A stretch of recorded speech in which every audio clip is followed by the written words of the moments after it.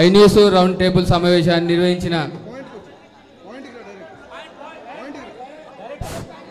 అనామది వెల్దుర్తి మండలన్న నేను కొద్ది సమస్య ఏముందని రోడ్ల సమస్య ఎక్కువ ఉంది అయితే యశ్వంతరావుపేట నుంచి వెల్దుర్తి పోయే మధ్యలో అడవి నుంచి ఉంటుంది రోడ్డు.